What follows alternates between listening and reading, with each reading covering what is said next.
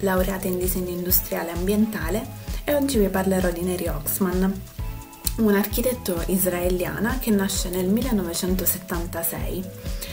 In, eh, spende alcuni anni della sua vita eh, nell'aviazione militare israeliana per poi dedicarsi agli studi in medicina, ma deciderà poi che la sua strada è un'altra, quella appunto dell'architettura e del design.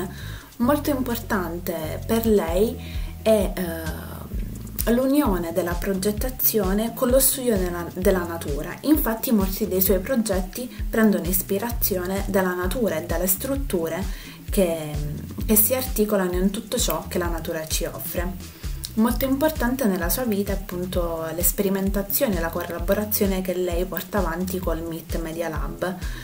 E ehm, possiamo vedere appunto questa sua eh, progettazione orientata a, alla collaborazione, allo studio eh, della natura all'interno di uno dei suoi progetti del 2013 che è Silk Pavilion dove, che nasce da una struttura montata da dei macchinari robotici al cui interno poi sono stati messi 6500 bachi da seta e la struttura viene appunto ricoperta da questi bachi che tessono le proprie fila. La domanda che si pone lei uh, uh, in questo progetto è come gli esseri umani possono collaborare insieme alla natura e le specie esistenti che la popolano.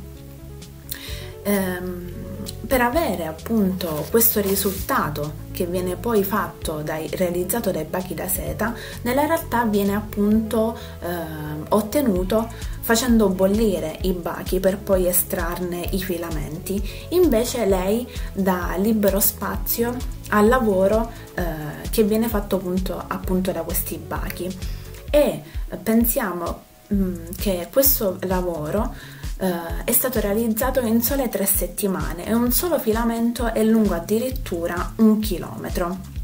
Neri Oxman quindi sfrutta quella che è la capacità intrinseca della natura e i meccanismi già esistenti da applicare alla progettazione. Una cosa molto interessante che lei ripropone in alcune delle sue interviste è quello che è appunto il suo il suo obiettivo futuro di creare una colonia di api che insieme a delle, dei macchinari robotici possano contribuire alla popolazione del pianeta Marte. Un'altra chicca, diciamo, che lei eh, ha detto appunto all'interno di una sua intervista è quella che un domani sogna la coltivazione di iPhone. Eh, Neri Oxman quindi possiamo vedere che è una donna che sogna in grande e che si fa forza della sua volontà e della sua curiosità nello sperimentare per contribuire a uno sviluppo del mondo in una direzione soprattutto ecosostenibile.